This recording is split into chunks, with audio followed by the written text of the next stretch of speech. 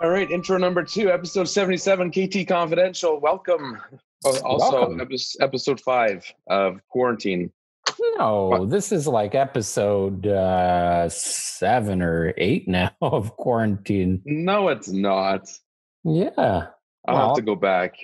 Here, I'll I'll tell you right now because the last day we were in the office was March the 12th, uh, 13th. No, yeah. So the March 16th podcast was recorded on the 13th because that was the day we recorded that one. Yeah. So we have the 23rd, the 30th, the 6th, the 13th, the oh, seven. 20th. Yeah. This is the seventh episode. Well, that's, see, I, I've lost all sense of time and Well, can you believe when this episode airs on May the 4th that we're into May? It's Yeah. crazy. Crazy. Almost Yeah. two months of being at home. it is.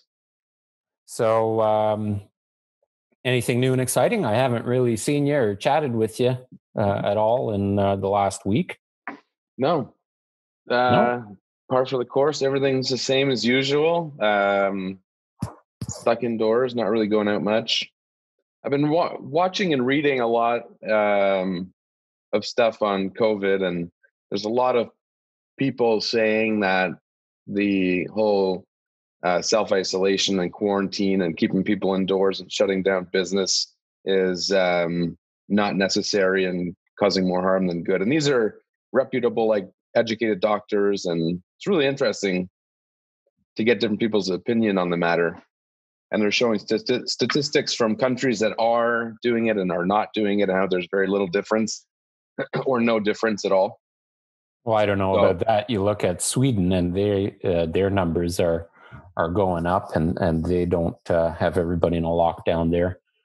But um, it's it's real interesting because you're getting perspectives, it's opinions. It's like Yeah, what we say about the value of somebody's home. You could have five different realtors give, and chances are all five of them will give you different valuations on your property. Yeah. Um, or, you know, raising children. I've I've read a lot of books and articles lately on on kids and toddlers and raising kids and and um everybody's got something to say. So I think that's of course. everybody's got something to say right now. My opinion is um, I don't think that we're doing enough to to shut things down, shut everybody down. Um, but then people will think there will be people that think I'm crazy by saying that. So I don't know, man. I don't know. I, I I know for me, I've been now again since March 13th at home. yeah, Um, me too. haven't haven't left, with the exception of walking the dog. I took uh, both cars for a, a quick drive around the neighborhood, uh, twice, twice now. Um, but that's it. Like from the house into the car, drive around a little bit, get the tires moving, get the fluids moving, and then back into the garage.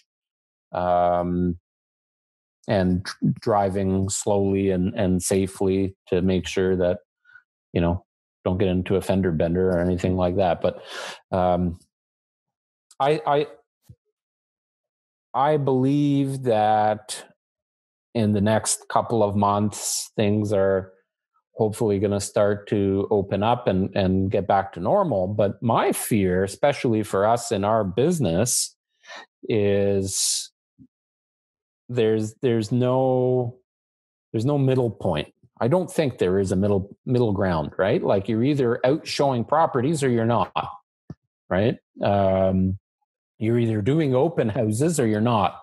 And some people are doing these virtual open houses, but you know what? I mean, what's the difference between a couple of videos or somebody being in the home virtually or even the 360 that uh, we do with Matterport and GoPro? people want to be in the house, right? There's they no, wanna- there's no way unless you're buying can't replicate pre-construction. No, no. Right. People that buy resale, they need to see the house. I mean, Yeah. they can, and we've experienced it with our our team, they've been able to uh, narrow down the list of um, likely homes of in, homes of interest, uh, so that they only have to go see a couple. Yeah. Uh, whereas before, uh, they you know we, we may be more inclined just to take them to see all those seven houses because you never know. Maybe one of them will surprise you, and you, you'll you'll be more impressed than you were online. But now, given the circumstances, you know, narrow it down quickly, go see a couple, and you know it's been working. Um, well, in the past, what I would do, like if I had a uh, conversation with a buyer and we sat down and we had that face to face meeting, uh, most of the time at our um, uh, office on Main Street, um, I would say, all right, we're going to go and see six or seven homes on Saturday and six or seven homes on Sunday. And I'm going to show you everything from the bottom of your uh, price range to the top of your price range and a couple of things that you may like and a couple of a couple of properties you may like and a couple of properties you might not like and then everything right. in between um, but now you're doing that virtually where you're pulling up the listings you're having a, a zoom conference and and pulling up the listings during that uh, conversation and going through the listings virtually together to make sure that the homes that you're going to see are the homes that are going to be in contention. Uh, so that's the difference right now. But I I look at the stats from the house we sold last week on uh, Kavanaugh Lane, and uh, so we sold that home with three offers on it, and there were eight showings. So typically, a home like that would have had in that time frame probably 20 showings or maybe a little bit more and not necessarily resulted in more offers. Like three three offers on a property like that is is is okay. It's good. Um, so the real buyers are out right now, and they are narrowing it down. So, you know that's uh, that's becoming more efficient. But my question now to you is: Let's say we're in November and things have gone back to normal. Like if if they don't go back to normal in November, I would be shocked, right? Like you got to think six months from now, things are better be back to normal. If they're not, people are going to be fucking bankrupt. The world's going to be in shambles. Well, people are going to be bankrupt now. I know. The world is in shambles. Um, well, I know. I understand. I'm not downplaying the severity of the current situation. I'm just saying if that were to become reality, it would be a very different situation. Well, every you know, uh, everybody's situation will be different. Uh, the government is going to be um, looking at their finances and going, "Well, we've been, yeah, you know." Putting out all this money over the last few months but now we ain't got no money either so so you know it, and it's inevitable that it will have to go back to normal whatever normal will be but my question is knowing that there's still going to be distancing um, guidelines. Uh, there's still going to be new protocols uh, implemented for many businesses. We're still an essential business. We've just decided to basically shut things down uh, for the betterment of of the public. Well, and, and just to to clarify that, by essential, is the caveat is um, you shouldn't be out doing your job if it's not an essential transaction. Correct. Right? Correct. Like people that need to move need to move. And, you know, because things are still moving, those we need to help facilitate those transactions. But if you're trying to buy a cottage or a second property or uh, you know, just casually looking, you know, they should not be out.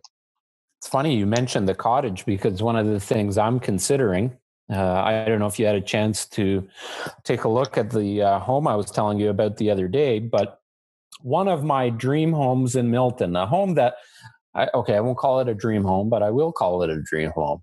It's that one of those balances, if that makes sense, where um, if I were to stay in town, yeah, uh, this While is one of talking, the homes. I'm to pull it up because I haven't looked at it yet this is one of the homes that um, I would heavily consider purchasing for myself.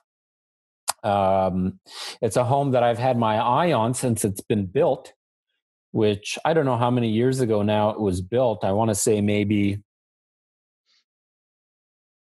it's less than 10 years old. Um, so this home came on the market about a month and a half ago or so. Yeah.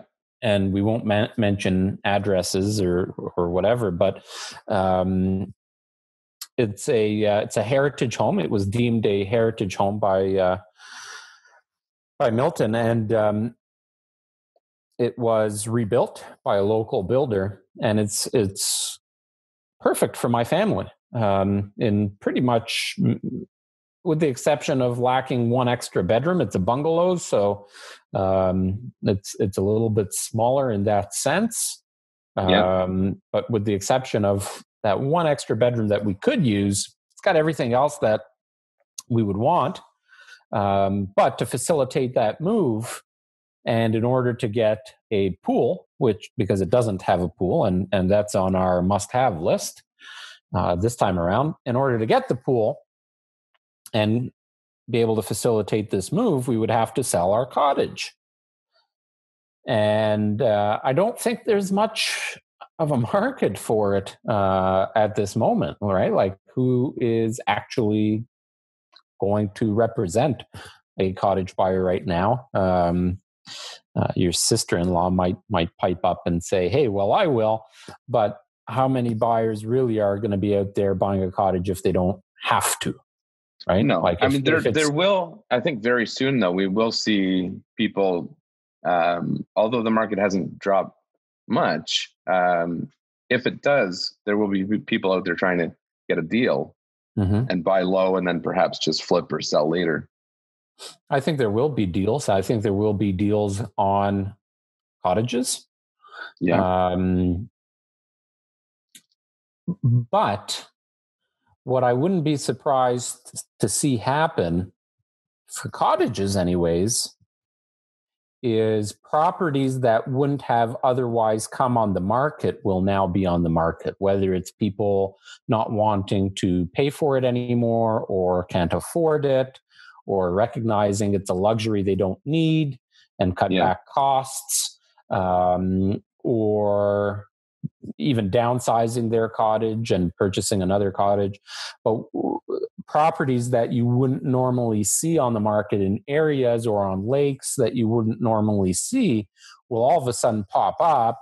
And I think there will be interest in it, and you might garner multiple offers on those types of properties. So, so it's going to be interesting to see what happens, um, I think a lot of investors also will be making uh, decisions that they haven't had to make in a while. So if you have a rental property or two or three or four, um, all of a sudden you're looking at it and going, well, if I sell property three and four, I can use that equity to pay off the other properties and sit without mortgages on them right now uh, until um, I get my finances back in order, and then I can use them as leverage for other properties in the future. So I think we're going to see a weird dynamic shift happening over the next um, six months to a year, is my guess. Yeah. Um, and I'm really curious to see what it does in terms of pricing. I don't think it's going to affect the prices too much because, like we've seen now, you've got sellers that have to sell and then you've got buyers that have to buy and that's not going to change. So even though there's going to be buyers out there looking for the deals and looking for opportunities i don't know how many of those there are going to be. Right. Supply well, will be low. that's the thing yeah. I mean the current inventory is going to dry up over the, at some point because not many new listings are coming to market so, what do you think? Because I've got this question a lot, and we had uh, I had that question DM to me. Um, what do you think is going to happen in terms of which properties are going to be affected the most in the next several several months? Do you think? Um, from my perspective, I don't think it will affect. I think the only market where um, you may might see it is in the Uber luxury market because I think that those people have more money invested in the market. It's so not the real estate market. What's, what's your consideration in terms of value on that? Is it like over three million, over five million? I guess it depends on the market, but I would say like even two to three on the low end, maybe. But yeah. well, Uber luxury think, isn't two million. Mm-hmm. It's luxury home, but well, it depends on the house. Depends on the area. Like a right two million dollar right. home in Acton is is. it's probably a nice fucking house. um, not yeah, not that uh, you see many of those. Um, if you got two million dollars, you're probably not moving to Acton. Unless you're buying hey, land. Hey, hey, hey. okay, I get it. I know. Nice rural, up, I know. It there is. are some yeah, really nice rural properties in Acton that uh, yeah. are quite pricey. Yes. Um, uh, so my my thoughts are though is um, you know the market luxury market the lux let's just say luxury and my my only the, the reason for that the driving force of that is just people's investments are down people have lost hundreds of thousands of dollars in investments in the market. Um, I don't know. So, the market's bounced back pretty good lately, but uh, yeah, yeah, but it's I mean, everybody's down. Everybody, like, everybody's down. I mean, everybody's cost of living uh, is putting them in a worse financial position right now than they were two months yeah. ago, right? Yeah. But I mean, the market hasn't come down much. Maybe five percent still, somewhere in that range. It's been holding. Well, the stats steady. on the Toronto Regional Real Estate Board uh, was year over year uh, down 1.6 percent so far for the month of April. Uh, yeah. That was as of April 21st. So uh, down 1.6, but in realistic uh, um, numbers, because that takes the average of all of their trades that are done on their system. Um, realistic numbers, I think you're you're accurate. Uh, five percent, kind of on average, um, through Milton and Oakville. Um, and and again, stats will say that I'm wrong and you're wrong by saying that. But here's what I know just thinking about the property that we sold last week, it sold for several percent. I'd have to really kind of think about it for a minute, but let's say about 4% less than probably what it would have sold for in the very beginning of March or end of February. It sold for right. four, about 4% less. It ended up sell, we so when I had the discussion with um, the listing agent on our team, which was Heather, um, I said, listen, you have to price it at a price low enough to encourage people to either make an offer on it unseen or to actually get out of the house and go and physically see the home in person. Yeah. And you know, it's not what we want to do or what the sellers necessarily want to hear because in this market you think okay well if i'm listing it low what are the odds that i'm going to get multiple offers? And your odds are much lower right? In a busy market you list it low and and hope to get a lot of offers and and get people bidding against each other on it um, it ended up happening anyways. They ended up listing low and getting multiples. We sold over asking, and they sold um, in a very quick amount of time when there are a bunch of other similar homes still on the market because they're still pricing it as if it was the beginning or middle of March and not yeah. and not realizing how to do that. And so my answer to the market being forced down by four or five percent is listen, right now, the market for buyers is different than it was two months ago. They are in a little bit more control than they were two months ago. It's not a buyer's market, but it's not a seller's market right now. Um, and a home is only worth as much as somebody is willing to pay for it. That is the definition of market value, what somebody is willing to pay. And if somebody's willing to pay today what they would have paid two months ago, it has to be a really, really unique property or a property that they can't replace um, or something that they've just been looking for uh, for a long time. Yeah. So going well, back to this house, I don't know if you checked it out while I was rambling on here. I glanced back, at it.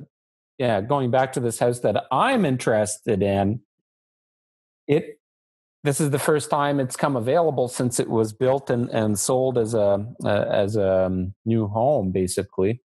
And uh, I've had my eyes on it for for a while because every time I drive past it, I love it. And um, it sides onto a park and and has space for a nice pool. Um, it's nicely renovated, um, but it puts me in a position, right? Because then I have to list my home, um, which means I got to get some renovations done. Uh, like my uh, stairs need to be refinished. The dog yeah. and the kid uh, scratch them up pretty good. And um, and then during showings, what am I doing with our family? Right, like well, we haven't left the house. We haven't left the house in in eight weeks. Yeah. So uh, so it becomes a, uh, a moot point because even though I'd like to make that transaction. We don't need to. We don't need to. So we're going to sit on the sidelines and say, well, we missed our dream home potentially if they end up selling. Um, but it is what it is, right? So anyway, I think you're right. I think the luxury market is going to be the most affected. Um, just because of percentages, right? Like if you think of it, the smallest amount of homes transacted uh, in terms of numbers are those in the luxury market uh, in, in most markets. Yeah. Uh, Oakville, a little bit different, but depends what you classify to your point as luxury in Oakville, because luxury in Oakville really is like 4 million plus, I would say. Yeah. Um, maybe three. It depends on the area of Oakville. Like if you're in old Oakville, a $3 million house buys you not much. Um, so I think those those luxury homes uh, will be seeing less activity. I think the big thing, also going back to your point about pricing, is um, for people that are in a position where they have to sell. It's really important to understand where the market is, where how it's trending, where it's going, because you have to you have to you have to price ahead of the market. So if you're listing today, you really should be saying, okay, well, how much has what has the market done in the last week or two? What has the trend been? And using that as a guideline, where will it be in a week? And you have to price a week out because if you're not, you got to be realistic with that. A hundred percent. Like as much as you, you know, people are naturally, oh, you know, I I hope to get more than you know. I hope I wish I could have got as much as I could have in March, but it's not going to happen. So you have to accept that and price a week out and anticipate where the market's going to go, price that way, and you will sell. If you don't do that, you're going to constantly be doing price reductions and struggling to keep up with the market instead of getting ahead of it and sold. And we see that on a daily basis because there are so many houses that have just been sitting and not selling. Well, and that's from unrealistic expectations. Yes. And it also could be from realtors that just want to get the listing yeah. um, you know, and and not coaching uh, the seller properly.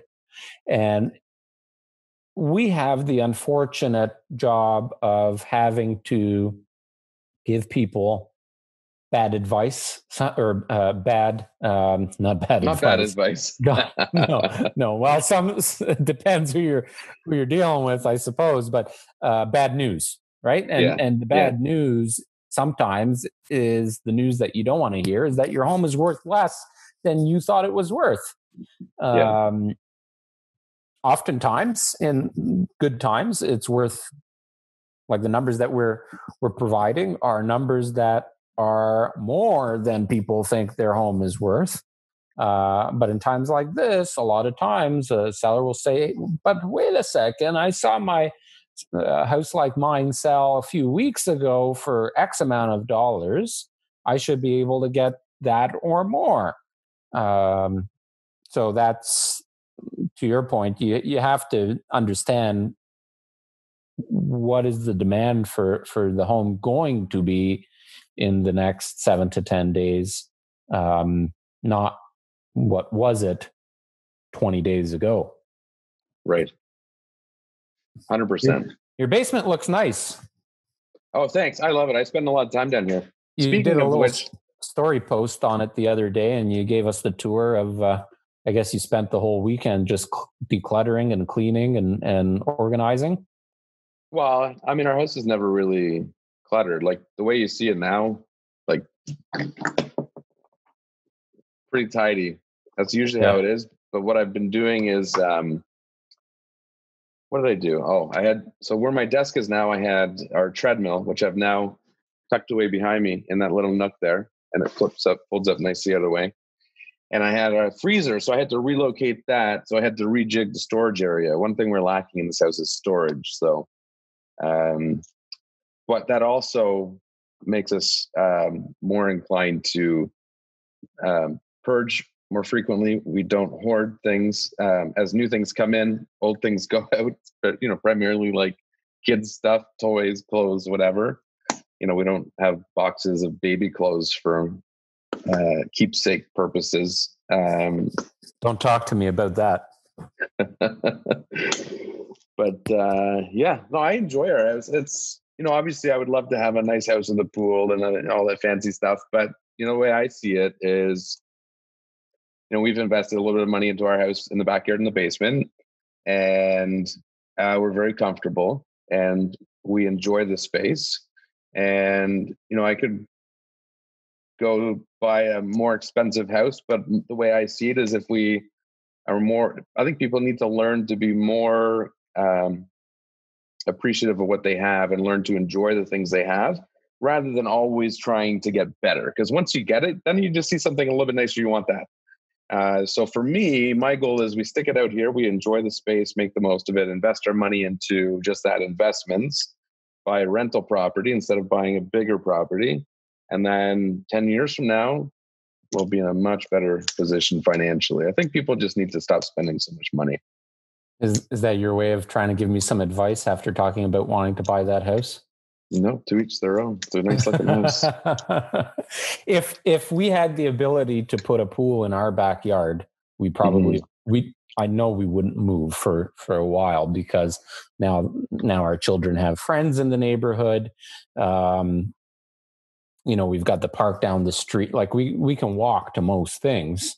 Yeah, and um, and it's a nice neighborhood. You know, been here for for ten years. Don't really want to move, but we can't fit a pool in the backyard, and a pool for us is a must. And um, I don't know if it'll happen or not. You might be stuck with me as a neighbor for a while still. Okay, I never see you anyways. I'm stuck in my house. That's true. You only you only hear me once in a while. Yeah. It wasn't it wasn't me whistling by the way the other day. I don't know who that, that was, was. so weird. Alicia and I both at the same moment we stopped. We swear we heard somebody outside our side door whistling. So we're like, "Oh, must be Ariel." But clearly it was not. No. No, it was not. Actually, I was thinking one of the podcasts I should sit in my dining room and uh, open up the uh, uh, shutters there and the for those windows, and you can sit at your uh, side door, and we can do a podcast that way because that's only about what I don't know, 10 feet apart. Yeah. Yeah, that would work. Mm-hmm. Or we could um, do it in the backyard still and get our drone to hover above looking down. Yeah. Where is that drone anyway? Does Ian have it? Uh, oh, you've got yeah. one at home. We've got two. I have, I have one here. Yeah. Somewhere. Oh, it's in my closet. Never use that one. Does uh, does Alicia and the kids do they spend time uh, in in the basement as well, or is it just you? Is it your man cave? No, no, not at all. We all do. I mean, I, Alicia and I watch shows and movies down here when the kids are in bed. Um, the kids sometimes will play video games down here or watch a movie down here, but they you usually watch. You don't have upstairs. a TV on your main floor. No, no, we so, have a TV in our bedroom, which Alicia watches most more than I do. I don't watch a whole lot of TV. Uh, TV in the living room, family room upstairs. So we have like a loft, second floor of family room. That's where the kid stuff is. That's where they watch TV and movies and stuff. Sometimes down here. and then in the basement. So nothing on the main floor, which I love. Yeah, I mean, I've contemplated the idea of it. Like sometimes we'll have people over, and um, I remember one time last year, and there was a game on it. I can't remember what it was. I'm not into sports at all, so it doesn't bother me. But some of our guests wanted to watch a game. I think it was basketball, whatever it was. Anyways, um, so then they came downstairs to watch it. But I don't know. It's kind of nice not having anything up there. See, we we're very much a eat dinner and throw something on TV kind of family right now because yeah. we don't eat on our dining room table. So oftentimes it'll be in the kitchen, on the sofa. We pull out the little uh, table and chairs for the boys that they have, their little dining table. Yeah. And uh, and they want to watch something on TV with dinner. So we we let them and we we do it together as a family. Um, yeah. But other than that, I, I think it can be a dis- distraction, right? So yeah. Well, for us, as, as, an example, like our dinner time routine is we always sit at the dining room table, um, and we will have some music playing. But it's I find it's nice because then everyone's interacting and playing, and kids are running around, um, socializing with the two of them, and playing with Carter and I find um, not having that distraction makes us more uh, connected, connects you a yeah. bit more. And, and we always try to make a note of eating at the dining room table. That's our only table. Uh, I mean, we have the breakfast bar in the kitchen, which sometimes that's where they'll eat, but there's only three chairs there. So then somebody gets shafted with the sitting on a stool at the end of the, the island. Um, but no, I like it. I, for us, it's a nice routine, not having that distraction. And the kids are always down there playing. We usually have music on, they're dancing. That's a big thing they do. I hear some noises. I I was just going to comment on that. Can you hear it? Yeah. I don't know what it is. Anyways. Well, the fact that you've got your whole family above you. Yes. Might be it. I'm surprised I'm not hearing any noises myself because I too am in the basement and yeah. this has become my man cave. Nobody comes down here because this is also where I bring all the groceries. Uh, int because I have the. Um, That's your decontamination zone. It is, yeah. So I set up a uh, little table there, and that's where uh, things go to be decontaminated. And lucky we have the sink and the fridge and the freezer down here. Um, yeah. It's basically a mini kitchen, right? So um, I wash everything down here. It stays in the fridge down here. And what I've so something that we're going to change that i'm going to change in terms of um, the groceries and our habits and routines is i'm going to set everything up here almost as a little grocery store. And that's kind of how i have it now. It's almost like a little convenience slash grocery store. So yeah. as we need things upstairs i come down i stock up i bring it upstairs.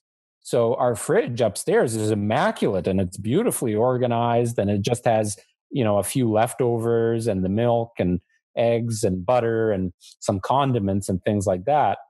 But the fridge itself is not full of crap and spoiling things and things that are going rotten and whatever. It's nice, it's clean, it's organized. You open something, it's already been washed, you so you can eat it right away. I love it. Can, yeah. can that that's probably out of everything that I did in the basement, the two things that I've come to really appreciate during uh, being quarantined: heated floors in the bathroom.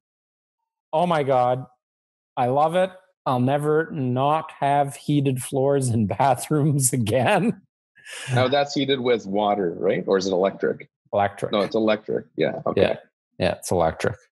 Um, basically it's just a bunch of wires that that got implanted uh, before the um, the tiles went down, and I have yeah. a thermostat that I set, and um, so for the hours that I know, like usually from about six thirty a.m. Uh, till about three p.m.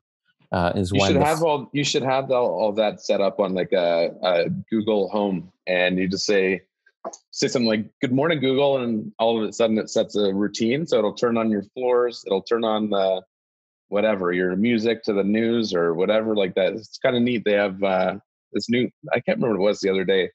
It said to say hello or good morning Google, and when when I did that, it tells me the weather. It tells me the news. Kind of neat.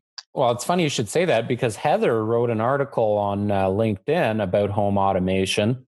Yeah. And uh, it got me thinking. So, to your point, I do have the same routines in the morning.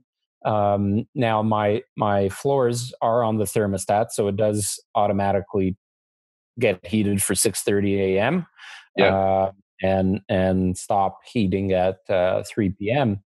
Um, but things like my Sonos, I always turn on uh, uh, Fan 590 because I like to listen to my sports radio uh, in the morning, even now during quarantine when there's no sports to talk about. Um, yeah. I turn what on. Do they talk, what do they talk about? Well, I don't know if you've watched uh, The Last Dance on Netflix.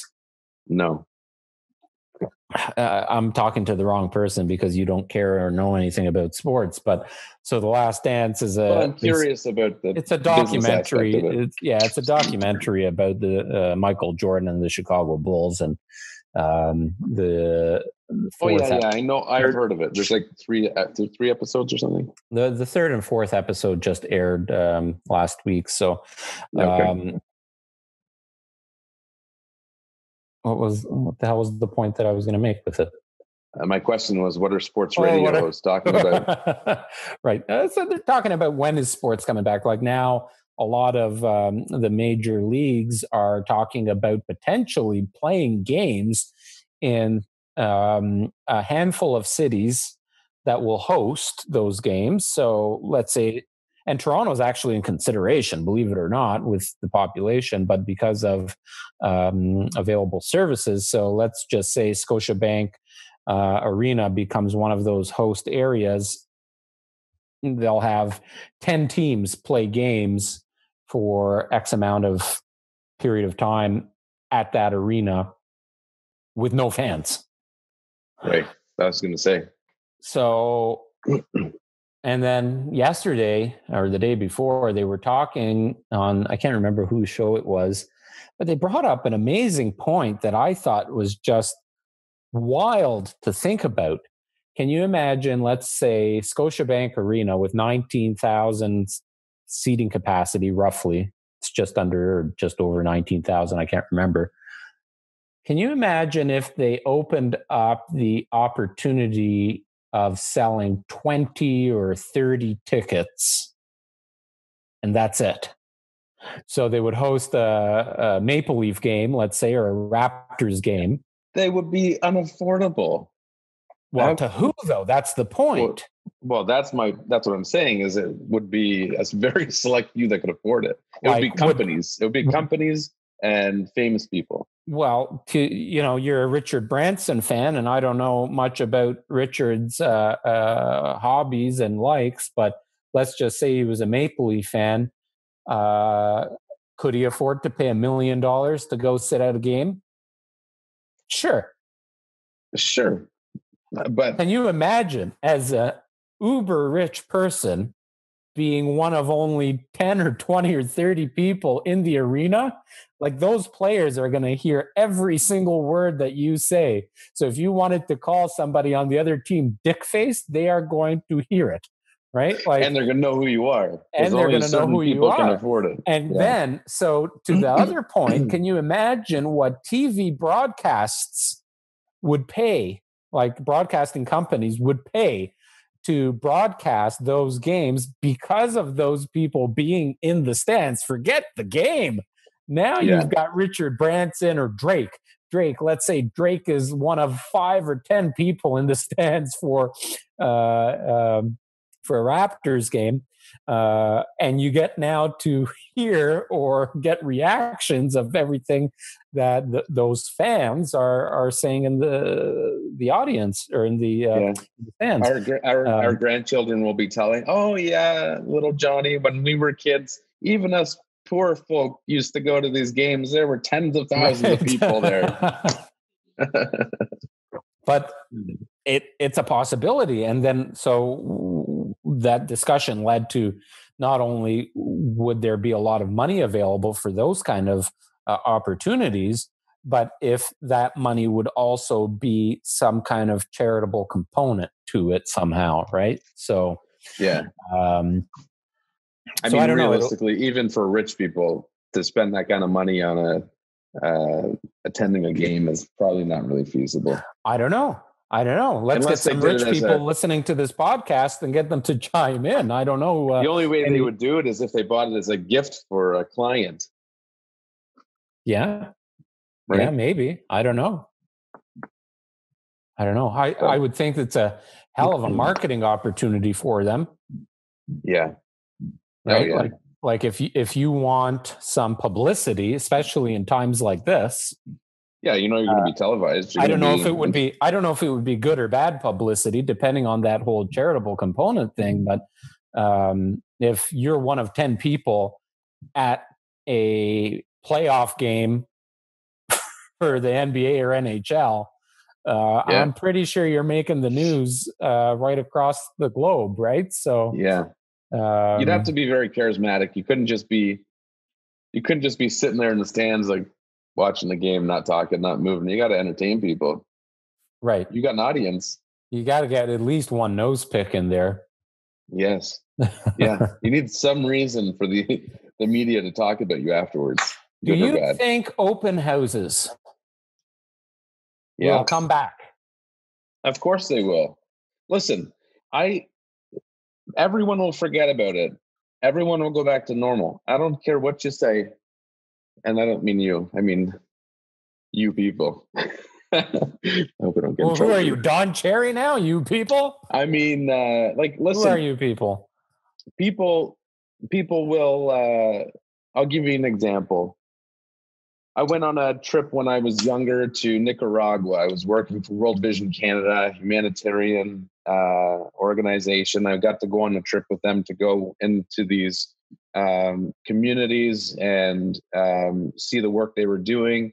And, you know, you go from first world country to third world, and it's like night and day. And uh, while you're there, it gives you a true appreciation for what you have. And it just it's uh, it's mind blowing. And you see all these little kids with literally nothing that are happier than 99% of the kids that we know in in you know back home um, so while you're there you really you really uh, kind of really put things in perspective and you have a real good appreciation for everything from when you turn the tap on you have fresh water running um, to you know always got meals on the table all that stuff but and you say while you're there oh it's really going to be you know life changing experience for me. And sometimes it is. I'm not saying it's not. I'm saying you know sometimes it is and maybe it motivates you in some degree.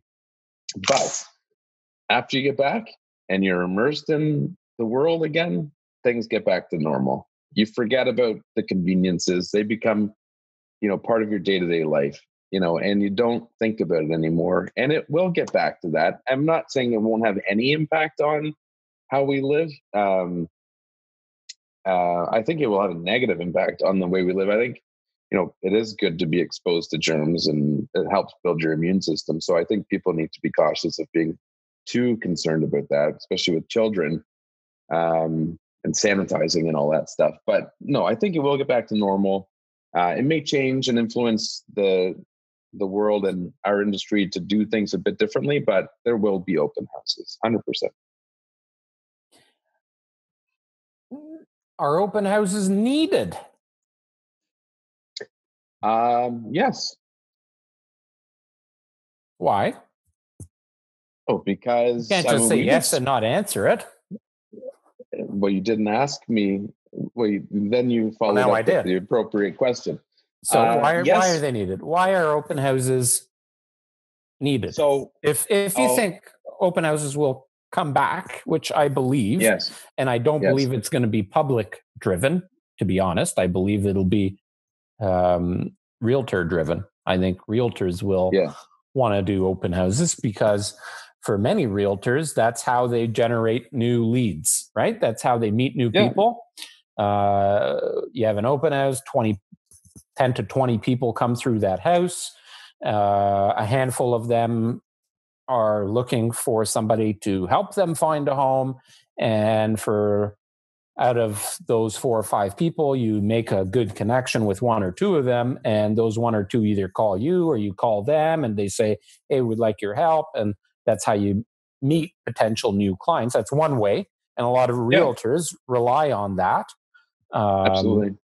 But from a public perspective, uh, well, I, I think from a public perspective, I don't think it necessarily matters. I think they'll just go with the flow. But I think from a seller's perspective, I think there's been many times where um, even uh, us, we will quite often, uh, I've had instances where I've had existing clients of mine call me and say, Hey, Adrian, we went through this open house.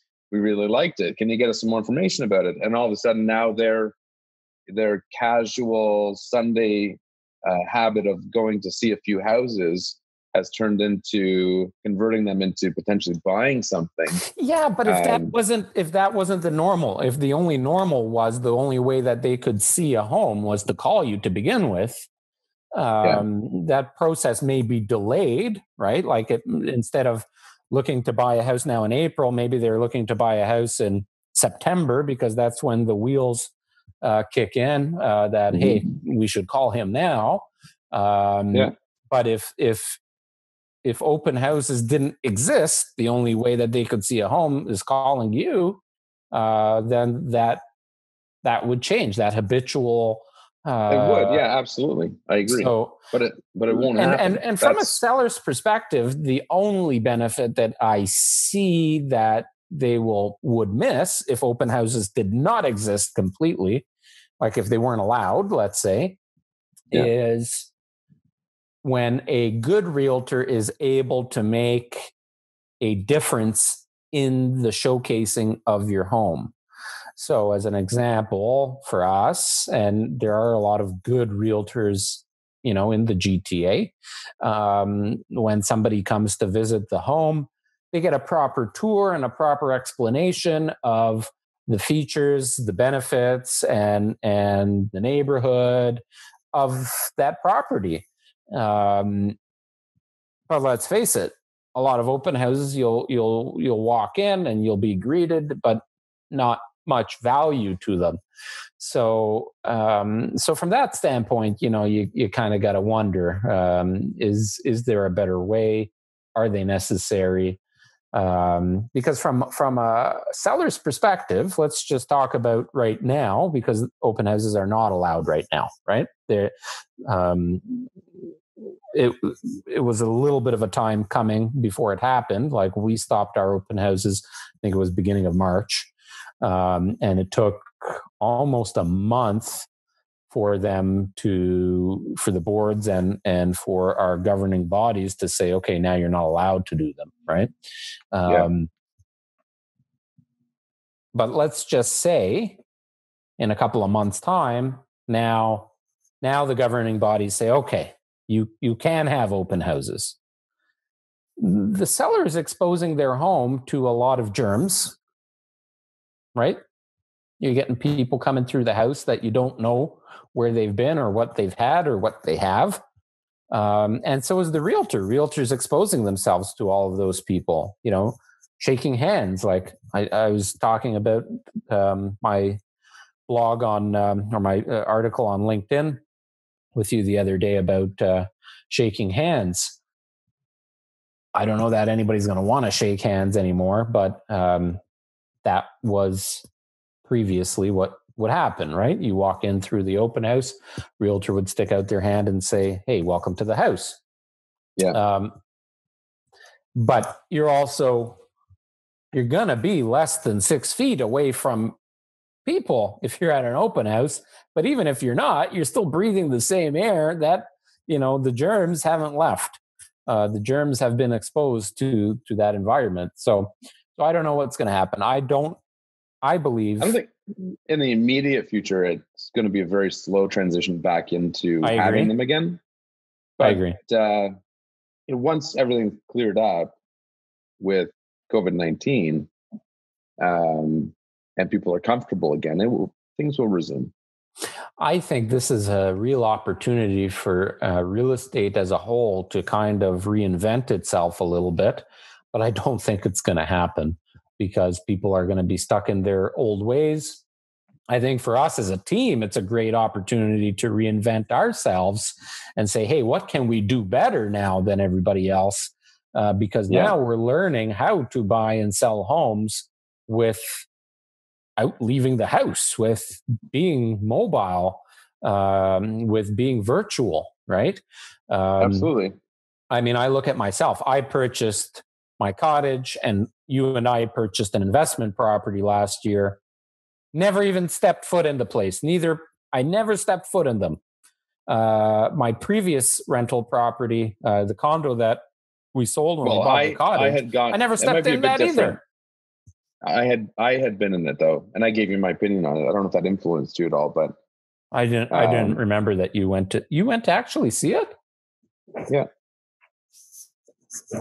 Hmm, interesting. I don't remember that. Yeah. You went um, to see it, um, and you never made a comment on the condition of the basement or the finishing of the basement because let's face no, it. No, because we got it, was, it for forty. We got it for forty thousand dollars undervalued. I don't care if it. I, guess, I, at, I guess. And the way I saw it is, if it didn't have a finished basement, it and was still back, worth the price. That backsplash, like whoever chose the colors in that kitchen, yeah, are like I'm colorblind, but I can see colors. Whoever chose the colors in that kitchen can't fucking see colors. It's that bad.